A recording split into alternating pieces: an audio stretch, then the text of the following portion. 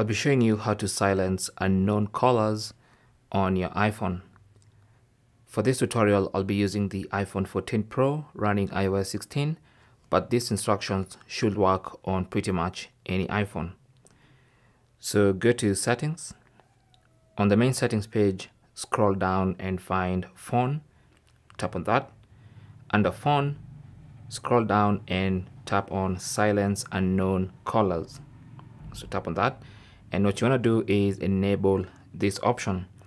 So this option as it says there calls from unknown numbers. And by unknown numbers it means numbers you have not saved on your phone book will be silenced sent to voicemail and displayed on the recent list.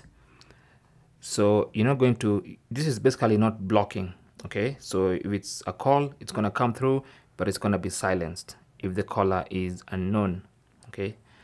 Thanks for watching. Leave your comments and questions down below and good luck